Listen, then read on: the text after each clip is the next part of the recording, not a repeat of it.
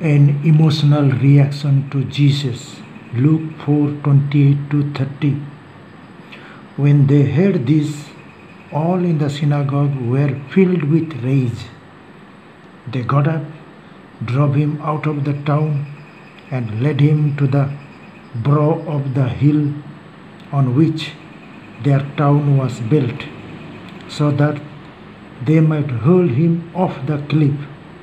But he passed through the midst of them and went on his way.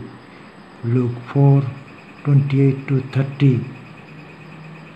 It is very strange that his own people reacted in such a sense way to our Lord. Jesus read Isaiah 61 1 to 2 and said, This scripture is fulfilled in your hearing.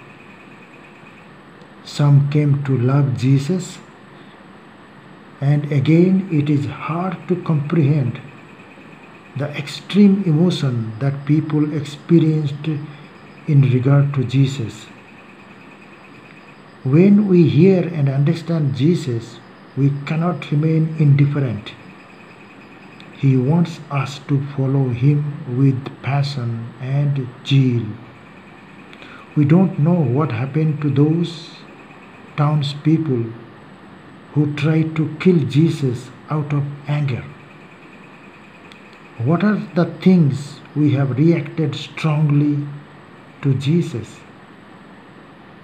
To imitate Jesus, let us pray for courage, compassion, clarity, and love.